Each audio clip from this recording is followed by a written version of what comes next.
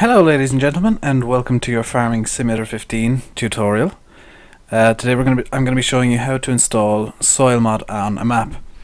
I tried this before with the wrong settings and it didn't work. So as you can see we've got Bjornholm mod map here in a folder that I literally made just for the tutorial and what I'm going to do first is I'm going to back it up, move to the backup folder that I created and just hit copy here and it'll take a few seconds to just copy in it'll copy the entire zip folder won't make any changes um, I will say I have already done this and I do have FarmSim ready to go to show you the end result as in one of those and here's one that I created earlier um, situations. So just need to wait for that to work out. It'll take about 10 seconds apparently. Um, it will, won't ever take as long as it says, well, from my experience. Okay, so that's that done. And the next thing you need to do, the very heart of it, is you need to extract the actual map itself. I'm using uh, WinZip, WinRAR, I believe. Uh, I actually have 7-zip as well, and I'll be using 7-zip later on for. Um, actually, in a, in a moment, I'll be using 7-zip. So I'm just using WinRAR at the moment to unpack the map, and this will take slightly longer than um, backing up the map because it has to unpack it and bring every single file up to its normal size. Now this is something that you only ever do if you want to edit a map and you always, always, always, always, always, 110% of the time create a backup just in case you screw up.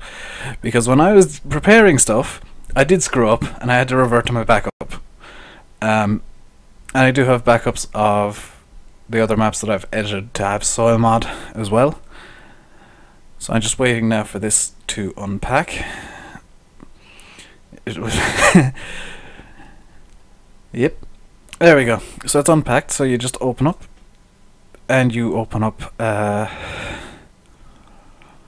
you open up the map folder here and you go into 7-zip or WinRAR or whatever you need and you will see. Whoops. Went back one layer.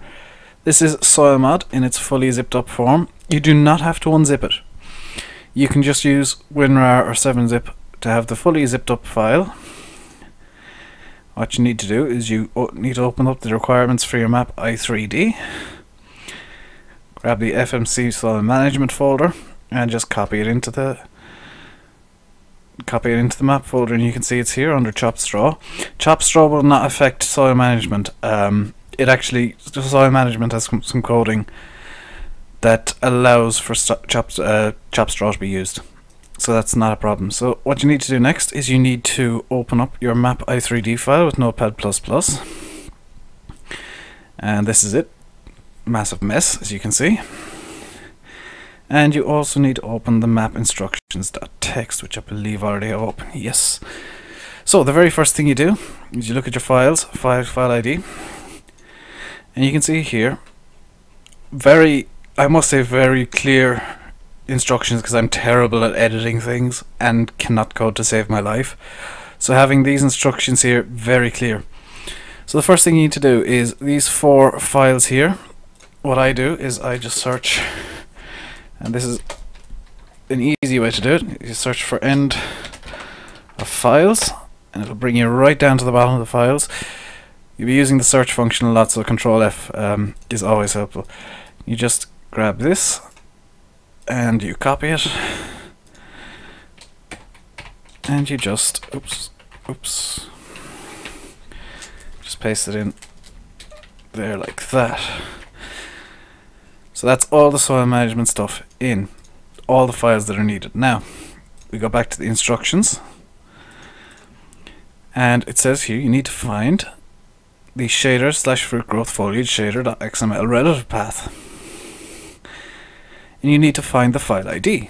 So what you do is, because I've forgotten already, it's fruit growth foliage shader. Okay, so what you do is you search for fruit growth foliage shader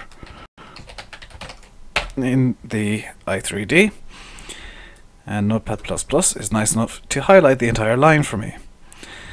Um, oh, that's on my other screen, thank God.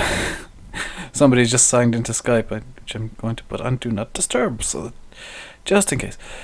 So, as you can see, it's highlighted the entire line. It's this line here. So our ID is 46.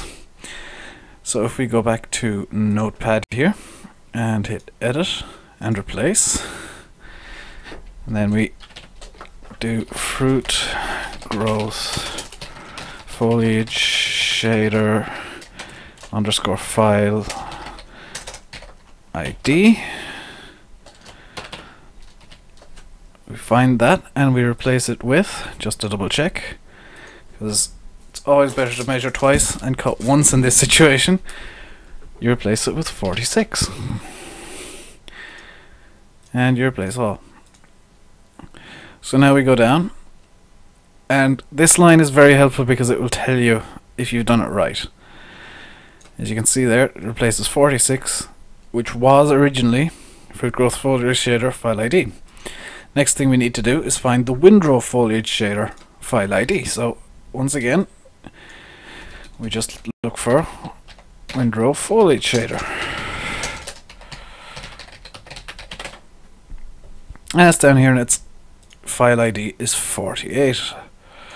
So we go back into Notepad++ and you can just cheat a bit by deleting fruit growth and replacing it with Windrow.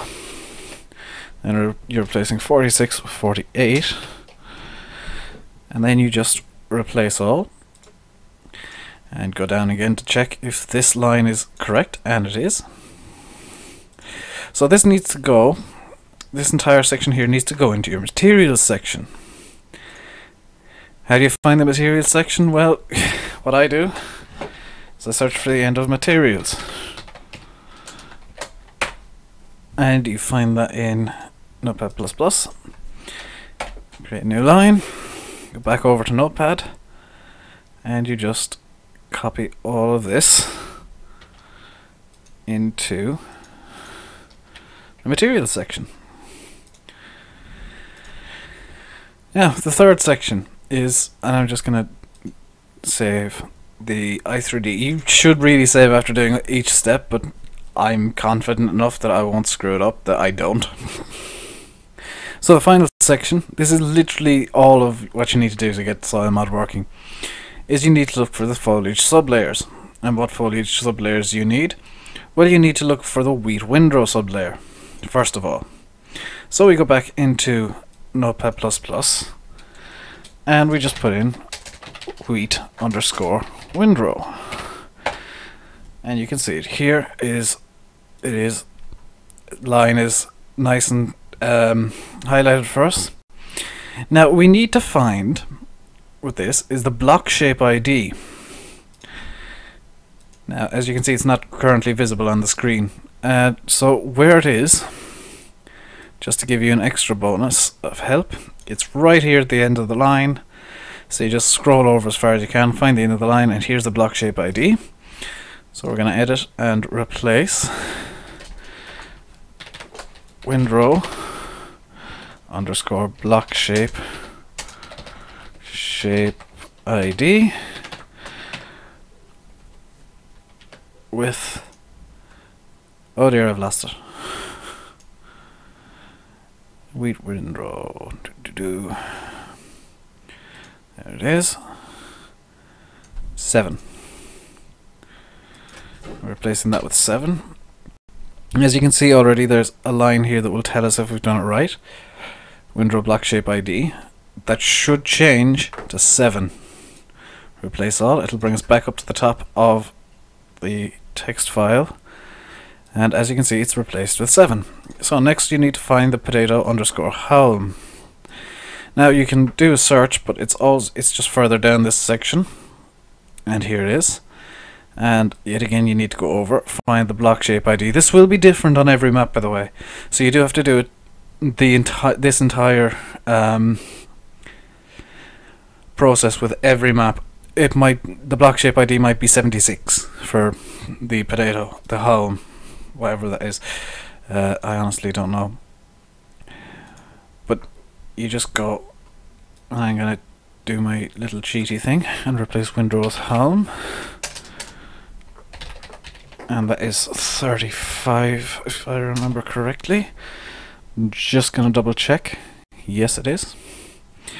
And you replace all and go back down. Yet again, it is perfect. So, up here, it'll tell you where to put it in. So as you can see, it goes in just before detail layer in the i3D. So what you do is you find detail layer. And there you go. Automatically brings you down to the correct line. Um, like I said, this tutorial isn't all encompassing for all maps. It's the easiest thing to do is you copy uh, is to um, just follow the steps. Don't follow the numbers. and you just copy and paste the foliage multi-layers into the uh, section before detail layer. If you do it after detail layer, you've screwed up. And you save the map, uh, 1.i3d, because you're done installing SoilMod. Don't save any changes made to the text file, because you might want to use it again for another map. I know I will. So, here's our new edited map folder. So what we're going to do is we're actually going to open up bjornholmmodmap.zip with 7-zip. And all we're going to do is we're going to reopen the Bjornholm mod map file here.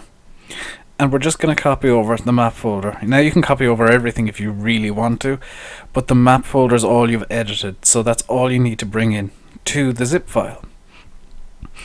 Now, I, as I've already said, I do have um, a zip file pre-prepared in my mod folder, a game preloaded on FS15 but I can guarantee 100% this will work.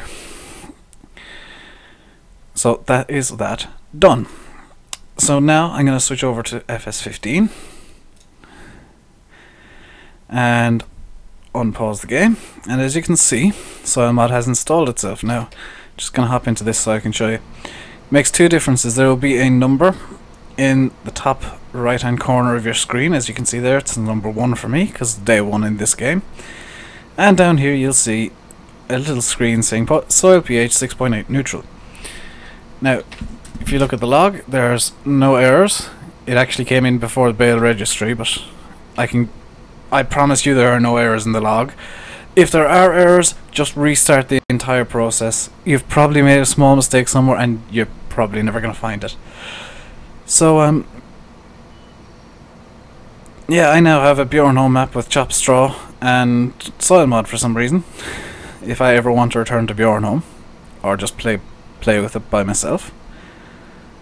Um, and that's really all there is to installing soil mod. You can do it in about five minutes. I took a bit longer because I was explaining it to you, but really, I'm an idiot and I, I just struggle to follow instructions. But if I can do it this quickly, you you can do it this quickly. So uh, thank you very much for watching. I hope you if you want to install SoilMod, I hope you do. And I hope that you don't break the map, because that is a possibility. Um, you do need to check if, before I finish up, you do need to check if there are any mods you have, such as Night Growth, such as um, Solid Manure Slurry and Lime mods, the Guillemets Calc mod. Um, some mods do conflict with soil mod if they have similar functions. Now soil mod what it does is it turns off your growth, your plant growth. It will turn that off automatically and it will calculate at midnight every night what the plant growth is. It will bring it forward one step. It will reduce the soil pH by one step and there is um, a readme file that tells you how much one step is reduces soil pH, soil moisture, uh, nitrogen, and phosphides and, and um, potassium by one step each. It also increases in certain uh, it increases weed infestation by one step and reduces herbicide by one step. Now, if you've got weed prevention, what that does is it stops the weed weed infestation from happening in the first place, and it I think it lasts four steps. Um, soil pH only goes down, if I recall correctly, at growth stage 3, which is, is I think slightly different from what the normal growth stages are in FarmSim. but I most of it is just making the game slightly, actually quite a bit harder for yourself because you do have to. my apologies. You'd have to watch over the um, soil moisture, the soil pH, and the nutrient content of the soil, or else you'll just lose lots and lots of productivity. You'll lose a lot of yield. So yeah, thank you very much for watching this tutorial. Um, if you do install soil mod, let me know how you get on. Because really, it's an easy mod to install, but a hard mod to master. Um, there are ways you can make SoilMod change how it calculates things. Well, not how it calculates things. Unless you're brilliant with scripts, you can do that. Uh, you can change how often it calculates. There is an XML in your save game file that you can just edit up uh, under FMC soil mod. So if you wish it to be three days, which I do, uh, for certain reasons, um, you can. So yeah. I'm going to leave it here. Thank you very much for watching. I've been Rainbow Dave, and uh, this has been your Farming Simulator 15 mod tutorial, I guess? I'm not sure what to call this. In any case, stay safe, and goodbye.